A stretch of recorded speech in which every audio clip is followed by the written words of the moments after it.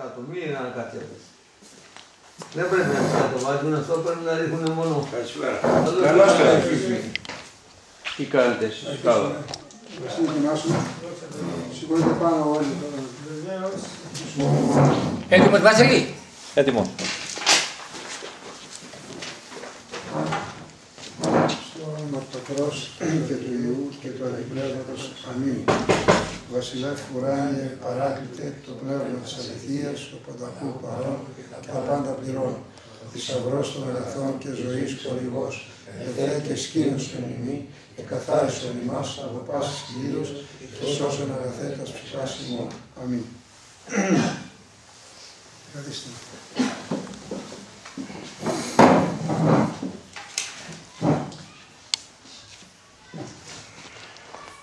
Είχαμε αρχίσει μία ομιλία, ένα μέρος από μία ομιλία του Αγίου Ιωάννου του Χρυσοστόμου. Και αυτή θα συνεχίσουμε σήμερα και ούτω καθεξής.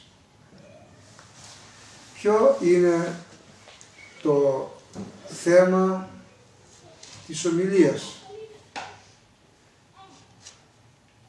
Είναι οι φόροι που είχε βάλει ο αυτοκράτορας Μέγας Θεοδόσιος στη βασιλεύουσα πόλη και όλη την επικράτειά του. Αυτή η περίπτωση αφορά το 350 μετά Χριστό. Δηλαδή 3,5 αιώνες μετά τη γέννηση του Χριστού. Οι φόροι ήταν η υπερβολική του αυτοκράτορας επαναλαμβάνουμε, πολύ σύντομα το, την αφορμή και την αιτία που αυτή η ομιλία υπόθηκε.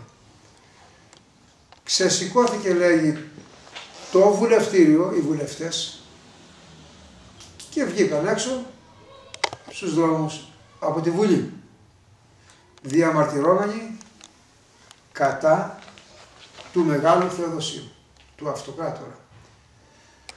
Αυτό έγινε στη πόλη Αντιόχεια. Ξεσηκώθηκε και ο λαός.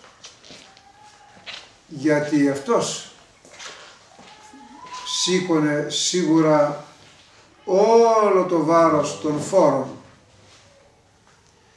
και έγιναν, έκαναν ζημιές μέσα στην Αγία μία από τις ζημιές που ήταν κατευθείαν προσβολή κατά του προσώπου του αυτοκράτορα και της οικογένειας του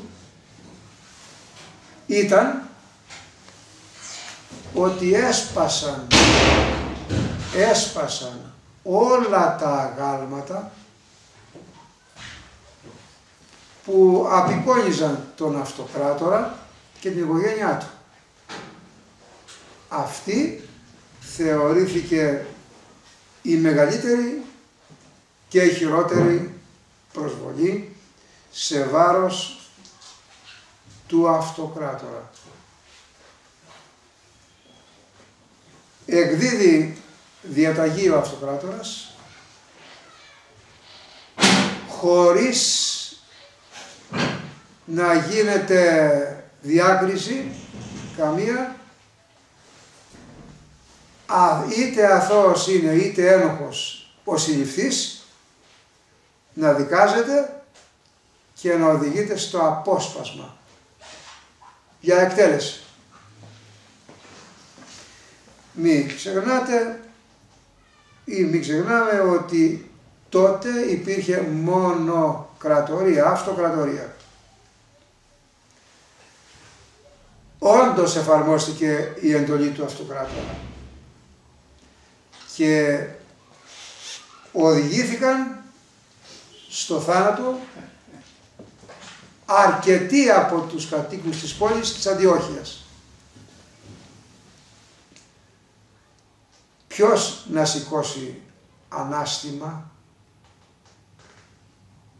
όποιος τολμούσε να σηκώσει ανάστημα και να πει άδικη η διαταγή, εγκληματική η πράξη που κάνεις σε αυτοκράτορα, που δεις και αυτός στο απόσπασμα, απόσπασμα θα πήγαινε. Βέβαια, ανάστημα σήκωσε. Ο Μέγας εκείνος άνδρας που τον εορτάζει η Εκκλησία και του έδωσε και την προσωνυμία στόμα χρυσό. Χρυσόστομος. Εκείνος λοιπόν χτύπησε τους κόδωνας Εκκλησίας συγκεντρώθηκε ο εναπομείνας λαός, ο λαός που είχε απομείνει στην Αντιόχεια. Γιατί όλοι από το πιο φτωχό μέχρι το πιο μεγάλο, σε ένα μεγάλο ποσοστό, άφησαν την πόλη για να γλιτώσουν το τομάρι τους, τη ζωή τους. Αλλά ένα άλλο μέρος έμεινε στην πόλη τρομαγμένο και συμμαζεμένο στο καβούκι του για τα καλά. Γιατί περίμενε την ώρα του για να εκτελεστεί, να οδηγηθεί στο πόσπασμα. Χτυπά λοιπόν καμπάνες, καλεί στην εκκλησία ο Ιερός Χρυσόστομος. Και πάνω από τον άγωνα κάκισε την, την ενέργεια και την πράξη των πολιτών, αλλά δεν άφησε. Και τον αυτοκράτορα χωρίς να του σταθεί αντιμέτωπος στο κήρυγμά του. Ξέρουμε πολύ καλά ότι από αυτούς τους Άγιους άνδρες, Βασίλειο, Χρυσόστομο και Γρηγόριο, όχι από τους τρεις, αλλά από τον έναν. Αλλά οι τρεις είχαν, θα λέγαμε, μια ψυχή. Ένα φρόνημα. Μια πίστη. Την πίστη εκείνη που έλεγε ότι τη ζωή μου την κάνω θυσία στο βωμό της αγάπης του Χριστού. Αυτό έκανε και ο Χρυσόστομος. Στους, για, για τους Ανδριάνδες λοιπόν που σπάσανε οι κάτοικοι της Αντιόχειας, μίλησε ο αυτοκράτορας. Το κέντρο της ομιλίας είναι ότι ο λαός, προσέξτε το αυτό, δέστε το καλά, εγώ θα πω από τώρα το κέντρο της ομιλίας, των ομιλιών του, όχι επειδή έκανε μία, έκανε πολλές ομιλίες. Το κέντρο των ομιλιών ήταν ότι όλη αυτή η συμφορά, όλη αυτή η συμφορά έχει μία και μόνη αιτία του λαού του λαού την ηθική κατάπτωση. Του λαού την ηθική κατάπτωση. Δηλαδή ότι ο λαός είχε υπερχαλαρώσει τη θρησκευτική του συνείδηση και είχε απορροφηθεί από τα όμορφα της ζωής. Καταλάβαμε; Λέμε και εμείς σήμερα, λέμε και εμείς σήμερα. Πω, πω, πολύ ακριβή η ζωή. Βλέπετε ότι υπάρχει αναλογία. Υπάρχει αναλογία. Ποιος την έκανε ακριβή τη ζωή; Η δική μας αποχαλήνωση στο θέμα των απολαύσεων. Στο ότι με ένα υπέρμετο τρόπο ζητάμε σήμερα το ένα, αύριο, αύριο το άλλο και δεν έχει σταματημό αυτή η κατάσταση. Και ζητάμε την αιτία αλλού ενώ υπάρχει σε εμάς μέσα. Και λέει λοιπόν ο Χρυσόστομος ότι εμείς δεν βγάζει τον αυτό το έξω, εμείς φταίμε με την προσωπική ζωή που διαβιώνει ο καθένας μας. Και θα δείτε από αυτά που θα διαβάσω και εδώ ότι ο λαός είχε επιδοθεί στο ποτό. Έπινε και στη διασκέδαση. Όπως και σήμερα. Ακριβώς, η μία εποχή αντιγράφει την άλλη.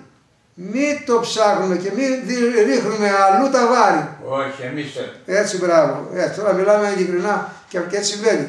Λοιπόν, στο ποτό και επειδή υπήρχαν επιτίδιοι την εποχή εκείνη, μέσα από τις τάξεις της, του Χριστού, των χριστιανών υπήρχαν επιτίδιοι που λέγανε γιατί να μην πιούμε, ο Θεός το έχει κάνει το ποτό. Ε, έτσι δεν λέμε, έτσι δεν λέμε όταν βλέπουμε ορισμένα πράγματα, του Θεού δεν είναι όλα. Μπήκε και ένας μια μέρα ανεδέστατα στην ανάληψη και είπε μια μεγάλη βλαστήμια, ε, ο άνθρωπος άγνοια τεράστια είχε, ε, κάτι ανάλογο. Κάτι ανάλογο, ε, ε, ε, οι άνθρωποι λένε λοιπόν το πρώτο το έχει κάνει ο, ο Θεός, άρα μπορούμε να πιούμε. Το μαχαίρι το έχει κάνει ο Θεός, άρα μπορούμε να σφάζουμε και όχι να κάνουμε τις δουλειές μας. Το φαγητό το έχει δώσει όχι για να ζούμε, αλλά για να, για να γινόμαστε τετράπαχοι και ούτω καθεξής. Λοιπόν, από αυτή λοιπόν, επαναλαμβάνω, υπήρχε πληγή μεγάλη μέσα στην Αντιόχεια εξαιτίας του ίνου. Και υπάρχει μία, δύο, δύο κομματάκια από την Αγία Γραφή, το ένα λέει ίνος εφραίνει καρδία ανθρώπου. Το καρασί εφραίνει την καρδία του ανθρώπου. Σωστά. Ο Απόστολος Τιμόθεος από τον Απόστολο Παύλο πήρε μια επιστολή που του γράφει μέσα άκουσε παιδί μου Τιμόθεε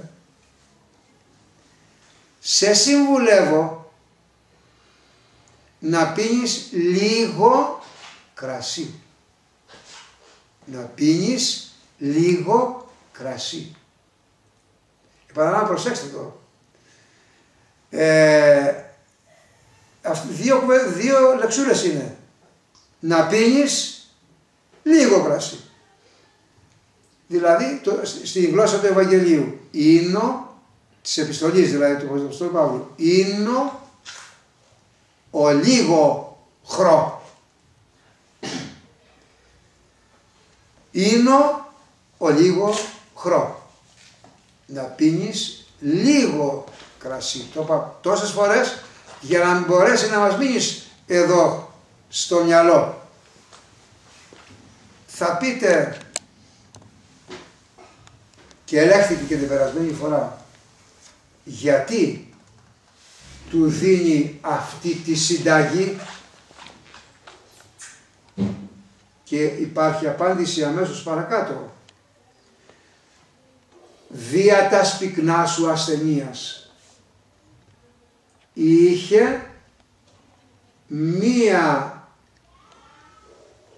συνεχή, θα πάω να το πούμε αλλιώς, ε, ε, πολλές αρρώστιες που το βασάνιζαν καθημερινά.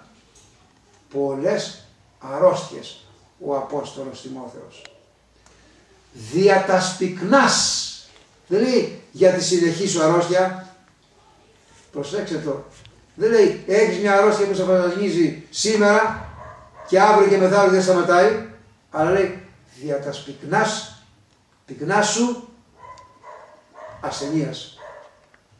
Συνάντησα στη Βιβλία πριν από τέσσερις Κυριακές περίπου ένα γέροντα. Ανοίξαμε συζήτηση. Εκεί αυτό που θέλω να πω είναι αυτό που έχει σχέση με αυτό που συζητάμε τώρα.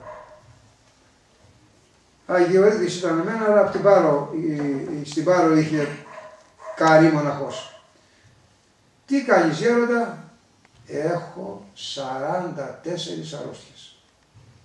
Μου απαρίθμησε, μου είπε αυτό τον αριθμό. 44. Και εδώ φορούσε κολάρο, τώρα ακριβώς τη θυμάμαι, πάντως μου λέει ή σπασμένους είχε δύο σπόνδυλους ή δεν είχε, είχε, δεν είχε δύο σπόνδυλους. Κάτι, κάτι ένα από τα δύο. Και ο Τιμόθεος Απόστολος είχε πολλές και ανεπανάληπτες αρρώστιες και συνεχίσει που του απαγόρευαν να πίνει νερό. Το καταλάβουμε καλά αυτό; Α, το να πίνει νερό ε, ε, συντελούσε στο να επιδεινώνει την κατάστασή του. Γι' αυτό το συμβουλεύεις, λίγο κρασί θα πίνεις για φάρμακο επειδή έχεις πολλές αρρώστιες. Άρα λοιπόν επιτρέπεται το κρασί αλλά ο λίγο χρόνο, ο λίγο να πίνεις και όχι, γιατί λέει αλλού ο Παύλος, μη μεθύσκεστε ίνο ενώ εστία σωτία. Να μην πίνετε κρασί να μεθάτε γιατί είναι ασωτία. Σε αυτό το μεγάλο κακό, τη μέθη, είχε επιδοθεί η πόλη της Αντιόχειας, ένα μεγάλο ποσοστό. Και επειδή είχε επιδοθεί σε αυτό και στο Γλέντι και στο Παγκοπότη, λέει ο Ιερός Χρυσόστομος, γι' αυτό παρεχώρησε ο Θεός και τώρα περνάμε αυτή την ταλαιπωρία να πέφτει το λεπίδι από τον αυτοκράτορα και να οδηγεί δίκαιους και άδικους, ένοχους και αθώους στο θάνατο. Έως εδώ κατατοπιστικά για να ξέρετε με τι ασχοληθήκαμε στο περασμένο θέμα μας μελετήσαμε και από το λόγο του όπως θα μελετήσω και ευθύς αμέσως τώρα. Γιατί είναι συνέχεια. Λοιπόν, διαβάζω και νομίζω θα κατανοήσετε καλά αφού είπα τα προηγούμενα εγώ. Αυτά λοιπόν όλα εγνώριζε ο Τιμόθεος. Εφρόντιζε να εξασφαλίσει τον εαυτό του, ο Τιμόθεος, από παντού. Ήξερε, γιατί ήξερε σαν νέος, ήταν παλικαράκι. Τον είχε χειροτονήσει ο Απόστολος Παύλος, επίσκοπο δεσπότη, νεαρό νεαρό, στην Αντιόχεια. Έφεσο, Αντιόχεια και, και σε όλη την περιοχή. Γιατί ήταν αυτός που ε, είχε υπό την επιστασία του σχεδόν όλη την Ασία, ο Τιμόθεος. Λοιπόν, και ήταν παλικαράκι. Και κάνει εδώ ο σχόλιο, ε, γνώριζε ότι είναι δύσκολο πράγμα η νεότης. Δύσκολο και ασυγκράτητο αν λείψει το χαλινάρι που λέγεται Χριστός, ο νέος, όχι μόνο ο νέος αλλά και ο γέρος είναι ασίδωτος πέρα για πέρα. Ασίδωτος πέρα για πέρα. Μπορεί να κάνει τόσο ο νέος αλλά και ο γέρος ακόμη περισσότερα, περισσότερες τρέλες από ό,τι κάνει ένας νέος. Λοιπόν, για να τον ε, σιγουρέψει τον Τιμόθεο και για να σιγουρευτεί και ο ίδιος ο Τιμόθεος να εξασφαλίσει τον εαυτό του έκανε το εξής. Ασκήτευε μέσα στον κόσμο. Νίστευε μέσα στον κόσμο. Ε, έφτανε σε τέτοια σημεία η νηστεία του ώστε να οδηγείται πολλές φορές στο χείλος του θανάτου. Και επειδή ήταν χρήσιμος, υπερχρήσιμος στην Εκκλησία,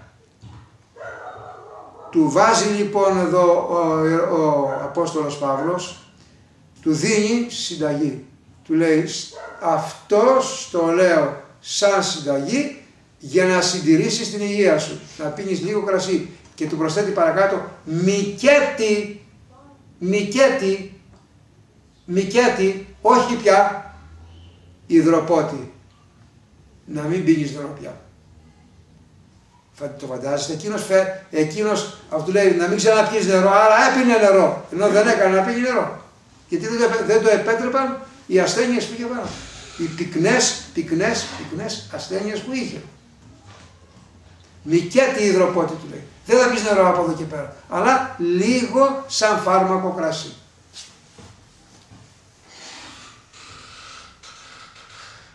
Είναι λοιπόν δύσκολο πράγμα να συγκρατηθεί η νεότης. Γιατί αυτή είναι άστατη, εύκολα εξαπατάται, εύκολα παρασύρεται και ότι πολύ γερά χαλινάρια χρειάζεται γιατί είναι φωτιά η νεότης και ο λαός το λέει που εύκολα και γρήγορα ανάβει και εξαπλώνεται προς όλα τα έξω πράγματα. Δια τούτο από όλα τα μέρη ο Απόστολος Παύλος προσπαθούσε να του βάλει φραγμούς να στέκει εδραίος πάνω στην πέτρα που λέγεται Χριστός. Αυτό φρόντιζε ο Απόστολος Παύλος και τον Τιμόθεο. Ώστε να περιορίσει και τη φλόγα αυτή φρόντιζε με κάθε τρόπο να την ελαττώνει και το αντίθασο αυτό άλογο της νεότητος αντίθασο άλογο της νεότητος που δύσκολα χαλινώνεται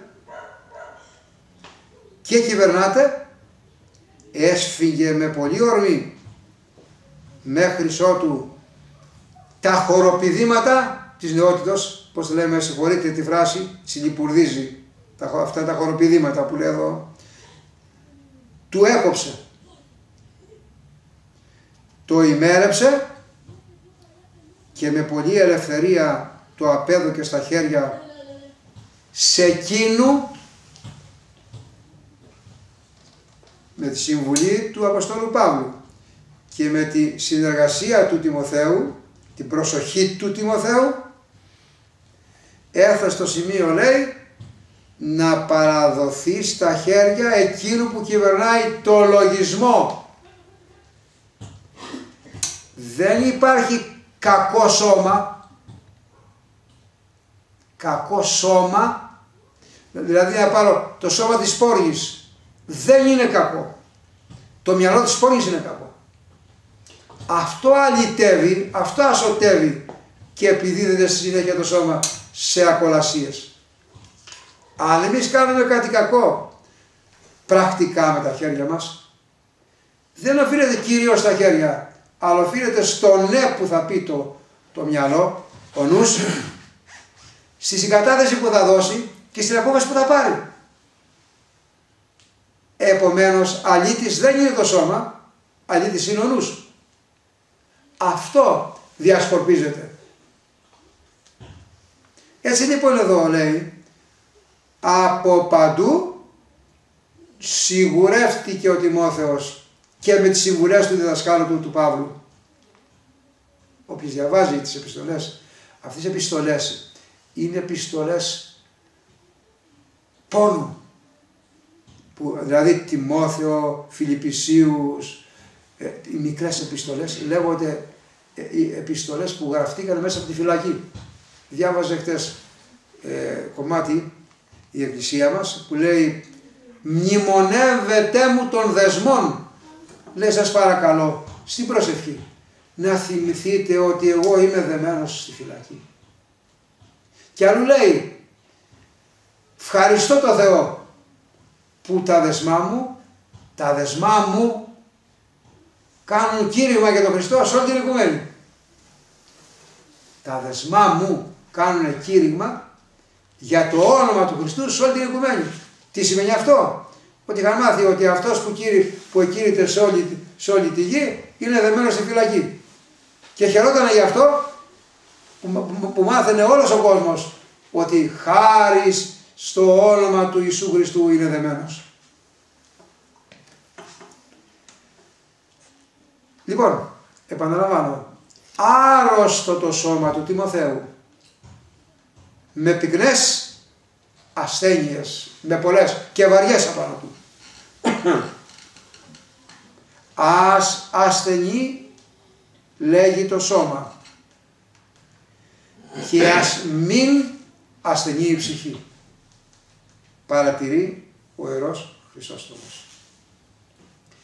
Ας χαλιναγωγείται η σάρκα και ας μη εμποδίζεται ο δρόμος της ψυχής στον ουρανό. Η προτίμηση λοιπόν είναι άρρωστο το σώμα. Αυτό προτιμούσαν λέει όλοι οι Άγιοι. Όλοι οι Άγιοι. Και το κέντρο του βάρους της ομιλίας αυτής είναι γιατί να υποφέρουν οι Άγιοι και όλα τα καθάρματα σε εισαγωγικά και έξω από εισαγωγικά να χαίρουν άκρας υγείας και να έχουν όλα τα αγαθά. Αυτό είναι το, το θέμα που παίρνει εδώ και αναλύει ο Χρυσόστομος με αφορμή το σπάσιμο των Αδριάτων. Απ' τη μια λέγει φταίμε και απ' την άλλη δείχνει ότι κοιτάξτε όσοι άφησαν στάμπα φωτός που δεν έσβησε στους αιώνας πέρασαν διαπυρός και ύδατος μέσα από φωτιά και νερό. Από δοκιμασίες δηλαδή. Εκτός τούτων και για κάτι άλλο κυρίως μπορεί κανείς να τον θαυμάσει και αυτό είναι το ότι αν και ήτο τόσο σωματικά εξυνδλημένος ο Τιμόθεος, προσέξτε το πρόσωπο είναι αυτό, με τις πικρές αρρώστιες και συνεχώς επάλευε προς την ασθένεια εν τούτης δεν, δεν παραμιλούσε την Θεία Υπηρεσία. Επαναλαμβάνω, είχε πλήθος ασθενειών και λέει ο Ωρός Χρυσόστομος δεν παραμελούσε τη φροντίδα και για την Εκκλησία γενικά. Όχι της Αντιόχειας, όλων των Εκκλησίων. Θα το δούμε παρακάτω. Αλλά με περισσότερα όρεξη από εκείνους που είχαν υγεία και ακμαία σώματα. Έτρεχε παντού. Προσέξτε το. Τώρα μεν στην Έφεσο. Άλλοτε στην Κόρινθο ο άρρωστος. Ο πολύ πολύ άρρωστος. Πολλές φορές στη Μακεδονία, στην Ιταλία παρουσιαζόμενος σε όλα τα μέρη της γης και της θαλάσσης μαζί με τον διδάσκαλό του, τον Απόστολο Παύλο. Μαζί του, λέει ο Απόστολος Παύλος, του ανήκει του Τιμοθέου, το ονομάζει παιδί του, παιδί του το ονομάζει, εισάξιο, αγαπητό, πιστό, που του ανήκει ο έπαινος του Ευαγγελίου λέει. Του ανήκει λέει ο έπαινος ο μεγάλος γιατί στάθηκε κερί αναμένο για να φτάσει όπως έφτασε και το Αποστόλου Παύλου, το κήρυγμα, όπως γιατί επαναλαμβάνω, εισάξιος στα πέρα της οικουμένης. Στα πέρατα της οικουμένης. Λαμβάνοντας μέρος σε όλους τους αγώνες αυτού και στους αλλεπαλίδους κινδύνους και τη χριστιανική φιλοσοφία της ψυχής του δεν, προσέξτε το, τη χριστιανική φιλοσοφία της ψυχής του δεν την κατανίκησε η ασθένεια. Δηλαδή δεν είπε ότι δεν μπορώ αφού έχω τόσες πολλές και βαριές αρρώστιες επάνω μου να κάνω το καθήκον μου. Αλλά έτρεχε ίσα με τον Παύλο. Ίσα ακριβώς με τον Παύλο. Τόση δύναμη είχε ο ζήλος του προς το Θεό. Προσέξτε το. Τόση δύναμη είχε ο ζήλος του προς το Θεό.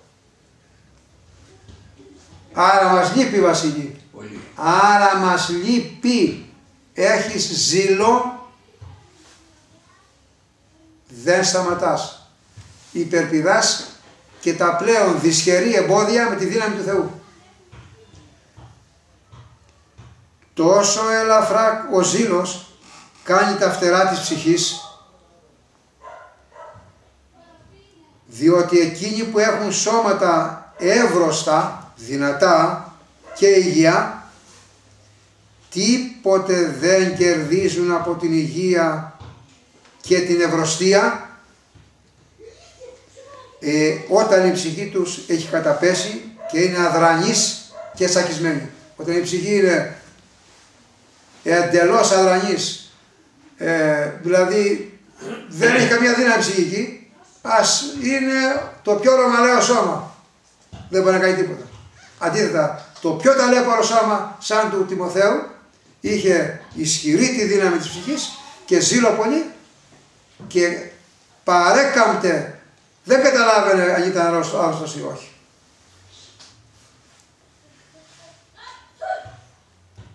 Νομίζουν πολλοί, νομίζουν λοιπόν μερικοί, ότι η συμβουλή αυτή του Παύλου τους δίνει το δικαίωμα ποια συμβουλή. Είναι ο λίγο χρό.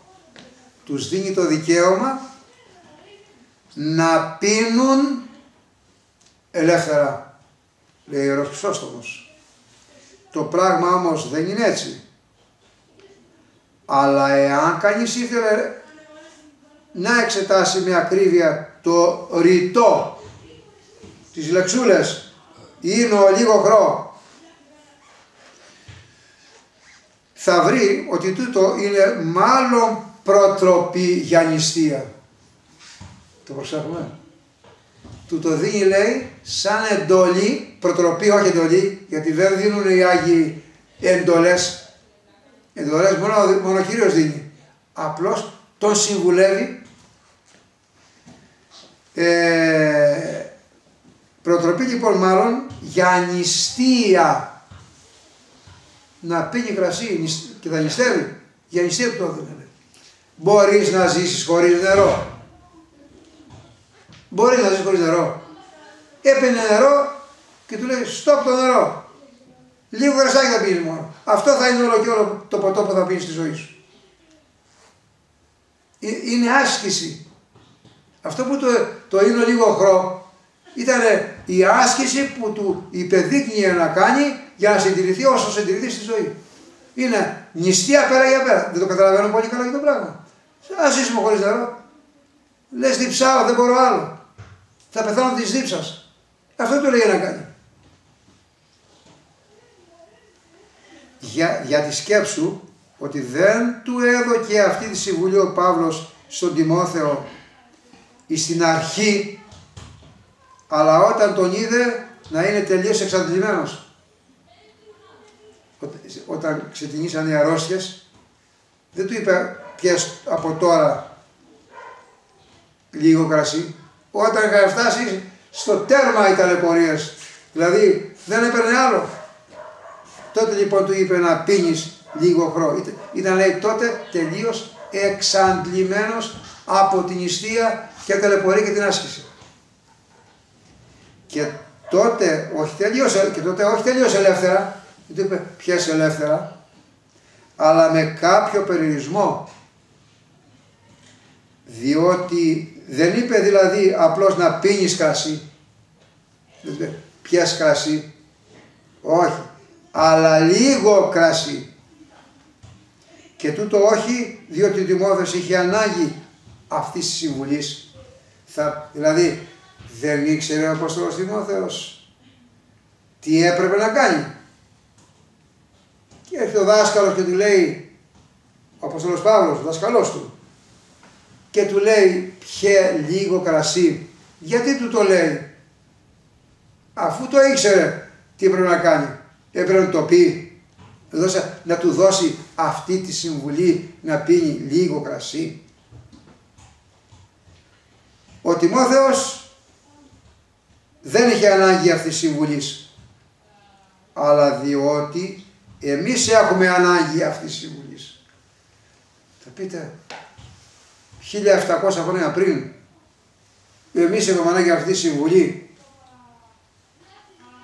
Φτάνει να σας πω, ανοίξτε προς Τιμόθεο επιστολή, τέλος τέλος, να δείτε εκεί που γράφει για την επιστολή αυτή και λέει παρακαλώ Τιμόθεε του λέει η επιστολή που σου έστειλα και περιέχει αυτό το κομματάκι να διαβαστεί στην εκκλησία των λαοδικαίων το ακούσαμε χθες. αλλά όχι μόνο στην εκκλησία αυτή αλλά και σε όλες τις εκκλησίες απευθυνόταν σε όλες τις εκκλησίες παρακαλώ και λέει ο Χρυσόστομος δεν υπάρχει ούτε το ελάχιστο μέσα στην Αγία Γραφή που δεν είναι ρήμα Θεού, που δεν έχει δηλαδή σαν πηγή το νου του Θεού, σαν πηγή το νου του Θεού που είναι αιώνιος. Άρα αφορούσε την Εκκλησία αιώνια ο λόγος αυτός και υπόθηκε. Γι' αυτό υπόθηκε συμβουλή, κυρίως, κυρίως όχι για το Τιμόθεο, για εμάς που ζούμε σήμερα. Και να βλέπουμε λέει αυτή τη, αυτό το μικρό λόγο είναι ο λίγο κρό σαν να είναι γραμμένο επάνω σε μία στήλη επάνω και έχουν χαρακτή γράμματα επάνω. Λίγο γρασί.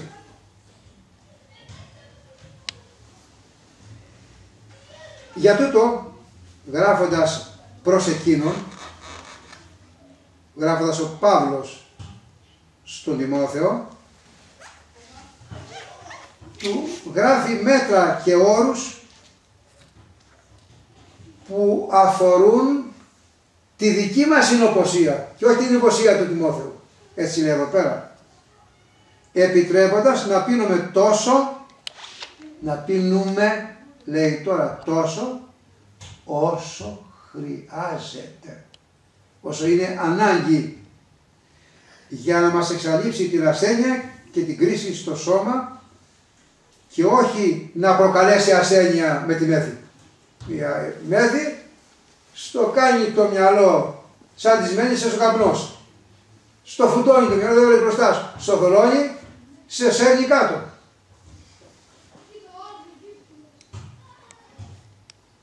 Με μέτρο, ε, και προσθέτει. Ας αποφεύγουμε λοιπόν τις ακρότητες. Γιατί οι ακρότητες είναι πάντα επιζήμιες. Πάντα προκαλούν ασθένειες. Προκαλούν ασθένειες. Φανταστείτε μια πόλη όπως είναι Αντιόχεια να έχει επιδοθεί σε αυτό το ποτό να πίνει και να γλεντάει μέρα νύχτα ποια προκοπή μπορεί να έχει στο γενικό καλό της πόλης. Η Αντιόχεια πώς λέγεται τώρα. Αντιόχεια. Έχει μείνει. Υπάρχει ε, ε, Μητροπολίτης Έλληνα στην Αντιόχεια. Α, ναι, Αντιοχία. Νομίζω τότε που έπεσε το αεροπλάνο στο Αγιδόρο της Αντιοχής ήταν ε, Παναγιώτη. Όχι. Στο Αγιδόρο, στο αεροπλάνο. Όχι, Δεν Αλεξανδρία. έπεσε μαζί με. Αλεξανδρίας. Αλεξανδρίας. Αλεξανδρίας. Ε, πάση. Μπράβο. Κάπου εκεί είναι μαζί αυτές, Αλεξανδρίας. Ναι.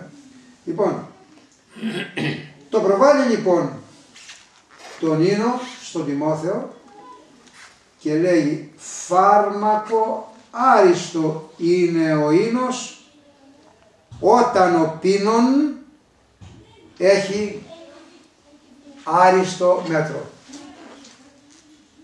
Φάρμακο άριστο είναι ο ίνος όταν εκείνος που πίνει χρησιμοποιεί άριστο μέτρο.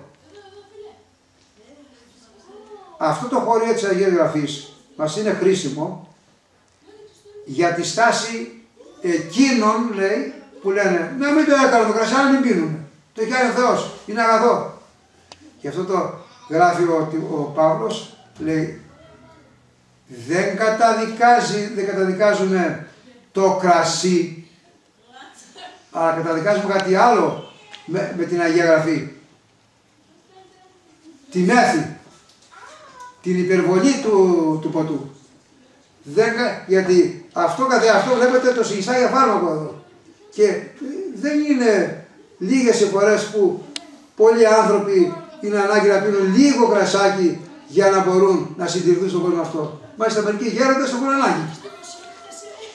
Τους δίνει δύναμη. Μάλιστα. Όταν λοιπόν μερικούς ακούμε να λένε να μην το έκανε το κρασί, μπορούμε να πούμε να μην, έκανε, να μην έδινε μυαλό να φτιάξουμε και το μαχαίρι στη μέση. Προχωράμε. Τι έχουμε να πούμε λοιπόν; Να τους αποστομώνουμε. Γιατί όχι η χρήση του ίνου, όχι, αλλά η έλλειψη του μέτρου καταδικάζεται.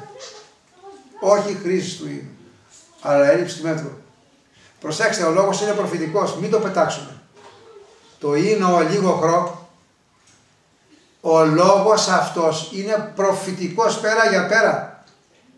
Έχει αιώνια δύναμη. Δεν το θα το πω αμέσως γιατί. Λέγει ο Κύριος μας, δεν γνωρίζουμε την ημέρα και την ώρα, αλλά όταν θα εγγίζει η ημέρα να έρθει, οι άνθρωποι θα είναι τρώγοντες και πίνοντες. Τι θα πει νερό; Προς Θεού, άρα, άρα είναι σημάδι, είναι εδώ, προφητεία είναι στην ουσία. Ήρθε σε εμάς η συμφορά στην Αντιόχεια, έπεσε το λεπίδι του αυτοκράτορα και έφαγε. Ένα γιατί τους έφαγε. Και τους αθώους ακόμη. Μαζί με το ξερό και γιατί και το χλώρο. Έτσι είναι. Γιατί το κακό αυτό μάστιζε την Αντιόχεια της Μέθης και έπεσε το λεπίδι. Και λέει τώρα, ότι πάλι ο Κύριος, θα το αναφέρουμε γιατί είναι, η Αγία Γραφή εξηγείται με την Αγία Γραφή. Δεν εξηγείται άντε με το μυαλό εκεί πέρα. Το έχουμε πει και άλλη φορά. Διαβάζουμε τώρα αυτό εδώ και λέει, αυτοί μεθάγανε. Και έφαγε το σκοτάδι πολλούς. Εμείς μεθάμε. Δεν θα φάει το σκοτάδι, λέει ο Κύριος. Α, είδατε που έπεσε και πλάγωσε ο πύργος μερικούς Γαλιλαίους; Α, αυτό έγινε για να καταλάβετε ότι άμα δεν συμμορφωθείτε θα πλακώσει και εσάς άλλος πύργος. Χειρότερος. Το καταλάβαμε. Επαναλαμβάνω, είναι πέρα για πέρα προφητικός λόγος. Αυτές οι δύο λεξούλες είναι ο λίγο χρό. Είναι πέρα για πέρα προφητεία για όλες τις γενναίες των ανθρώπων. Και πολλές φορές ο διάβολος κατορθώνει πράγματα με τη μέθη ισοπεδώματος και ιερών σκηνομάτων. Π.χ. παραδείγματος χάρη γιορτάζει ο, προφήτης, ο Άγιος Προφήτης Ηλίας και πρέπει να λειτουργηθεί παραμονή και την επόμενη. Τι γίνεται παραμονή και επόμενη, το ξέρουμε όλοι. Μου λέει ο προφήτης, δεν μπόρεσα να λειτουργήσω καθόλου μου λέει. Δεν κοιμήθηκα όλη νύχτα και έκανα λειτουργία γρήγορα γρήγορα. Και βρεθήκαν μετά να το καταδικάσουν τον άνθρωπο γιατί είχε μείνει άϊπρος όλη τη νύχτα και δεν, και δεν μπορούσε να λειτουργήσει ακόμα. Τι κάνει λοιπόν η ελεύθερη πόση του ποτού. Πιστεύει λοιπόν ο λαός ότι η γιορτή γίνεται για να μεθάει. Αυτή είναι. Και για να πανηγυρίσει με τον τρόπο πανηγυρίζει και όπως το θέλει να πανηγυρίσει ο λαός. Οι ιερές είναι γιορτές, είναι σεβαστές και στις ε, γιορτές τις μεγάλες λιτανεύουμε και δεν ασωτεύουμε. Επαναλαμβάνω, το ίνο ο λίγο χρό είναι προφητεία για όλες τις γενιές. Και συνεχίζω. Ανακλίνονται τα στόματα, τα στόματα εκείνων που λένε το φτιάξε ο Θεός, ε, αυτό το φτιάξε να πίνουμε, να εφρενόμεθα, να διασκεδάζουμε. Μέτρο άριστο λέει, θα χρησιμοποιούμε. Αυτό που λέγανε και οι παππούδες. Παν μέτρο άριστο. Έτσι.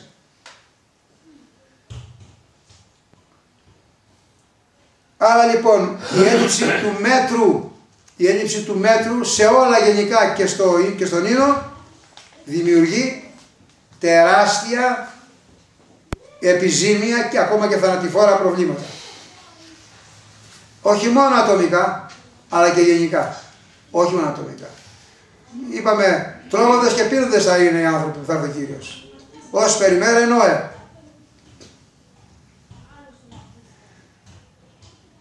Δεν υπάρχει ελεηνότερο πάθος από τη μέθη. Όπως το λέω από το μεθύσι. Αυτός που μεθά, προσέξτε μια περιγραφή που είναι ο Χριστόστομος. Αυτός που μεθά είναι νεκρός και τι ζει. Αν και ζει.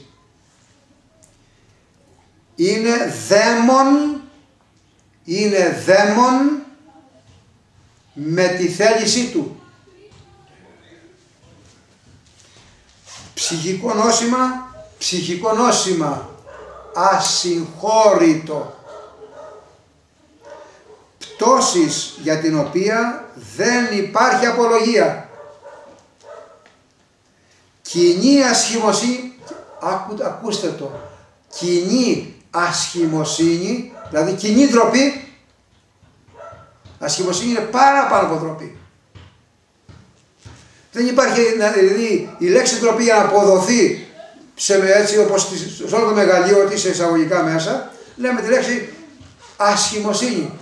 Κοινή ασχημοσύνη του γένους μας. Είμαστε έτσι εμείς οι Έλληνες. Τα πίνουμε. Μυθικά. Κοινή ασχημοσύνη του γένους μας. Λέγω τούτο διότι αυτός που μεθά δεν είναι μόνο στις συναναστροφές άχρηστος ούτε στα ιδιωτικά και δημόσια πράγματα αλλά και απλώς βλεπόμενος, δηλαδή και τότε το βλέπουμε, το μεθυσμένο, είναι ο περισσότερο όλων συχαμερός. Για να δούμε. Ο, όχι για τίποτα άλλο, αλλά διότι αποπνέει, βγάζει από μέσα του δυσοσμία συχαμερός γιατί βγάζει από μέσα του δυσοσμία επιπλέον τα ρεψίματά του και χασμουρήματα και οι φωνές των μεθύσεων είναι ενοχλητικές και αηδείς που κάνουν όσους τους βλέπουν και τους συναναστρέφονται να αισθάνονται αποτροπή και αηδία. Και το μεγαλύτερο κακό είναι ότι το νόσημα αυτό, το μεγαλύτερο κακό, προσέξτε το, για αυτό που ενδιαφέρεται ο Χρυσόστομος και ο Κύριος μας. Το μεγαλύτερο κακό είναι ότι τους απομακρύνει από τον ουρανό. Δεν φτάνει που τους μεθυσμένους τους αποφεύγουμε όλοι μας στην κατάσταση ιδιαστική που βρίσκονται, αλλά ήδη έχουν κόψει τον εαυτό τους από τον δρόμο να πάνε στον ουρανό επάνω. Δεν τους αφήνει να πετύχουν τα αιώνια αγαθά. Ας περικόψουμε λοιπόν την κακή αυτή συνήθεια και ας ακούσουμε τον Παύλο που λέγει να μεταχειριζόμαστε λίγο κρασί. Ίνο, ολίγο, χρώμα. Είπαμε λοιπόν και την αιτία που έπεσε στο Σεκούρι. Τη μέθη, τους μεθυσμένους κλπ. Είναι δημόσιος κίνδυνος για όλους. Κακό γιατί δημιουργείται μπέλιδος ο δωραστός. Λοιπόν, τώρα υπάρχει ένα άλλο ερώτημα. Αφού ο Άγιος Τιμόθεος ο Απόστολος που δέχτηκε αυτή την θεία συμβουλή, την θεία συμβουλή και αυτό το προφητικό λόγο όπως είπαμε αφού τη δέχτηκε δεν το γνώριζε δεν ήξερε ο άνθρωπος τι έπρεπε να κάνει για να γίνει καλά.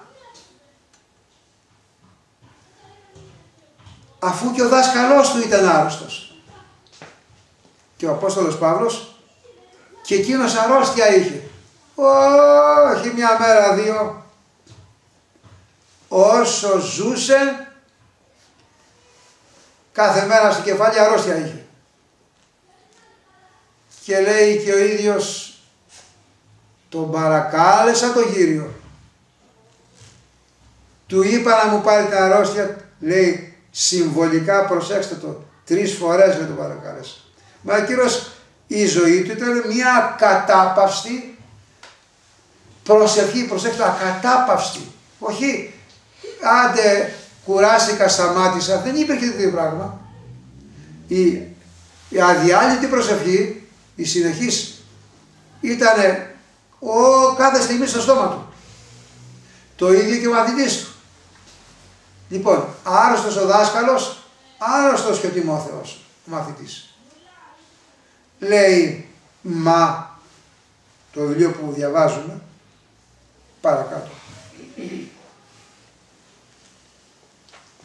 Άνοιγε τα μάτια στους τυφλούς και ο δάσκαλος, ο Παύλος και ο Τιμόθεος.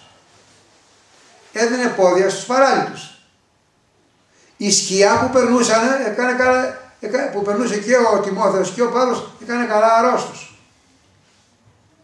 Είχαν αναστήσει για νεκρούς. Και αυτοί μια αρρώστια δική τους δεν μπορούσαν να κάνουν καλά. Το προσέχετε καλά. Μια αρρώστια, μια, μια αρρώστια, πυκνές ασθένειες. Όποιος διαβάζει την Αγία Γραφή και την προσέχει, μου κάνει εντύπωση. Ε, τώρα σε αυτή την ηλικία που είμαι και κάθομαι και ξαναδιαβάσω, διαβάσω τη γραφή και λέω πω πω όλη η γραφή βογκάει ολόκληρη, ολόκληρη η γραφή. Βγάζει ένα βογγητό από μέσα, πόνου, όταν βλέπει τους εργάτες του Θεού να περνάνε μέσα από μία σταμάτητη πολυχρόνια ή ισόβια ε, δοκιμασία. Δοκιμασία από ασθένειες, από ανθρώπους, από τα πάντα. Άμα διαβάσετε θα δείτε και μέσα μόλις ο Παύλος στο ξεκίνημά του απ και η αιρετική δίπλα του. Η αιρετική δίπλα του. Αμέσως. Αμέσως και οι συκοφάντες που λέγανε δεν είναι Απόστολος. Αυτό, αυτό, αυτό το πόνο ε, τον είχε το χειρότερο πόνο μέσα του. Να έχεις τον αγώνα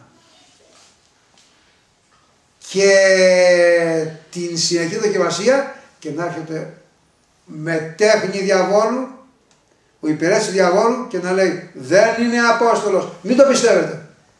Μπορείτε να σκεφτείτε και το πράγμα.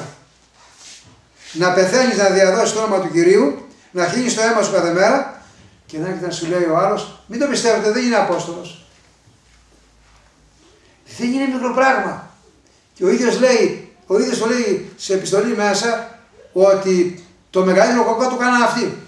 Και εξαιτίας αυτών είπε το αυτό το μεγάλο, εγώ ανέβηκα στον ουρανό επάνω. Δεν το έλεγε ποτέ. Δεν θα αποκάλυπτε ότι τον ανέβασε ο Κύριος στον ουρανό, αν δεν είχε αυτό τον πόλεμο από τους ψεύτου Αποστόλους. Λοιπόν, γιατί του Θεού οι απεσταλμένοι απαξάπαντες πέρασαν μέσα από φωτιά και σίδερο είτε από ταλαιπωρίες που τους υπέβαλαν οι άνθρωποι είτε από συνεχείς ασθένειες στη ζωή; Το ερώτημα γιατί;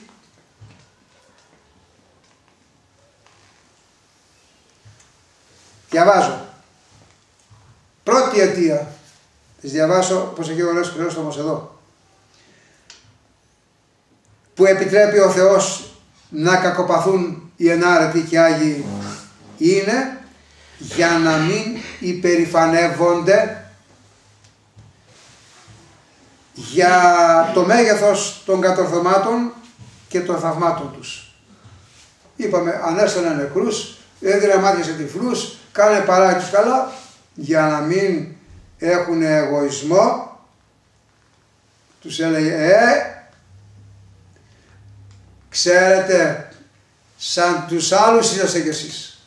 Δεν έχετε καμιά διαφορά. Να, πάρτε την αρρώστια να καταλαβαίνετε ότι είστε σαν τους άλλους. Και θυμίζω τον Απόστολο Πέτρο και τον Ιωάννη στο πρώτο ξεκίνημα του κηρύγματος ανεβαίνουν στο ναό του Σολομώντα να προσευχηθούν. Και εκεί τους απενίζει ο παράλυτος που είχε γεννηθεί παράλυτος και ζητεί άλλο.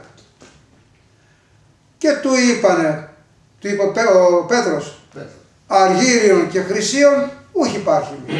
Χρυσάφι και ασήμι δεν έχω να σου δώσω, με κοιτάς τα χέρια. Εκείνο που έχω θα σου δώσω. Ο έχω, ο έχω, εκείνο που έχω, τούτος δίδομη. Αυτό θα σου δώσω. Ε, λοιπόν, ξέρεις τι έχω; Εν ονόματι Ιησού Χριστού έγερε και περιπάτη. Στο όνομα του Κυρίου, σε καμιά δική μου επέμβαση, μόνο στο όνομα του Κυρίου, σήκω και περπάτη. Και σηκώθηκε και περπάτησε. Και επειδή τους κοιτάγανε με θάμβος γύρω, τι είναι αυτή εδώ μόνο. Σηκώσαν αυτό που είναι παράλληλος, γεννήθηκες παράλληλος, πω πω τι πράγμα είναι αυτή εδώ. Ε, τι θα λέγαμε σήμερα, θα τρέχαμε μπουλούκια. Έτσι δεν κάνει ο κόσμος. Γυρίζουμε λοιπόν και λέει ο Πέτρος, μη μας ατενίζετε όσοι δια δυνάμει επίσαμε αυτό, ότι το κάναμε με τη δική μας δύναμη. Όχι. Στο όνομα του Ιησού. Και εμείς πρόσθεσε ο Παύλος, σαν και εσάς είμαστε. Απλοί άνθρωποι. Για να μην λοιπόν υπάρχει, προσέξτε το αυτό, η μύτη να ανεβαίνει ψηλά στους Αποστόλους που κάνανε τα θαύματα αυτά, γι' αυτό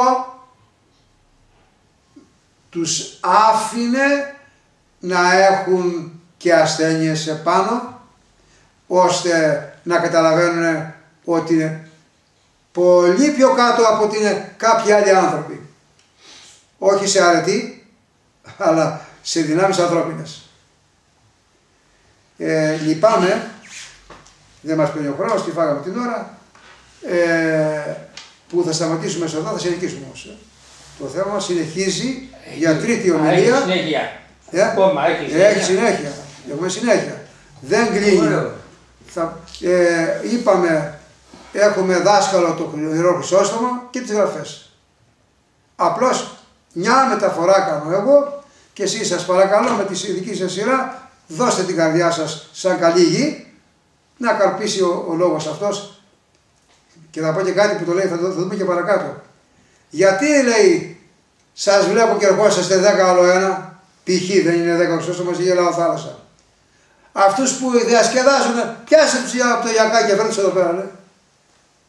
Από το γιακά. Ξέρετε τι γλώσσα χρησιμοποιεί. Άμα δείτε τι γλώσσα χρησιμοποιεί ο Όστομος, διάβαζα στον γαμπρό με χθες που είχαν πάει για το μνημόσυνο του πατέρα του από εδώ μέσα. Λέει, είχε ρημώσει η πόλη από το φόβο του αυτοκράτορα και είχαν φύγει όλοι αυτοί που φοράγανε λέει, παπιόν, κρατάγανε τη μαγκούρα του επιστήμονα στο χέρι. Και γραβάτες. Ναι, και λέει, ναι και γραβάτες. Δεν είχαν γραβάτες, ο λόγος το λέει. Και Σε τους παίρνει λέει, εσένα η χώρα. πού είναι τα κοινικά καθάρματα, ήταν μερικοί φιλόσοφοι, που λέγανε, θα φάμε, θα πιούμε, γιατί αύριο πεθαίνουμε. Το λέει ο λαός, ο, ο λαός που δεν ασχολείται με τα θεία καθόλου, λέει θα πάμε και θα πιούμε γιατί Να πάμε χορτά. Ναι, μπράβο. Και λοιπόν, Έστονται. αυτοί που ακολουθούν το δόγμα αυτό, ας ακούσουν ότι το Ιερός Χρυσόστομο είναι κοινικά καθάρματα.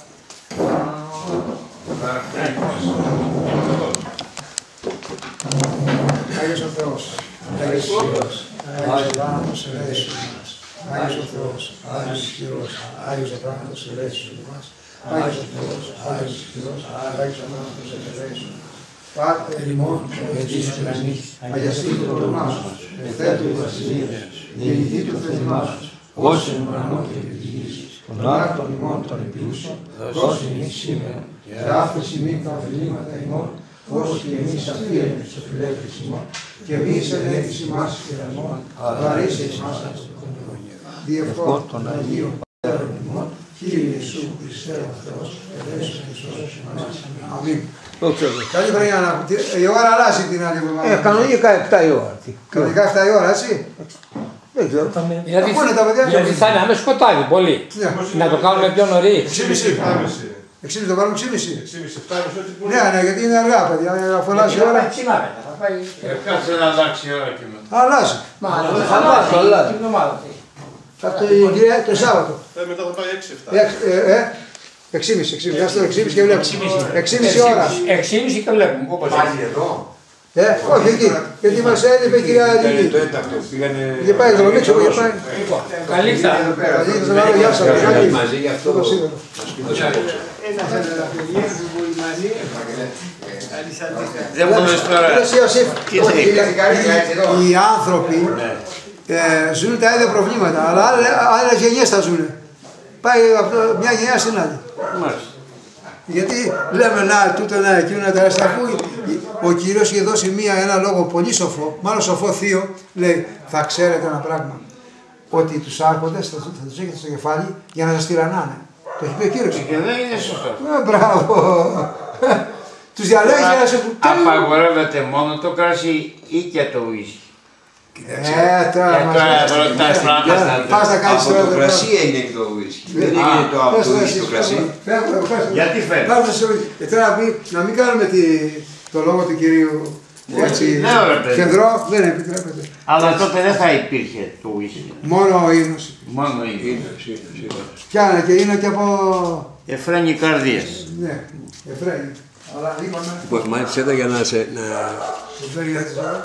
Πήγες.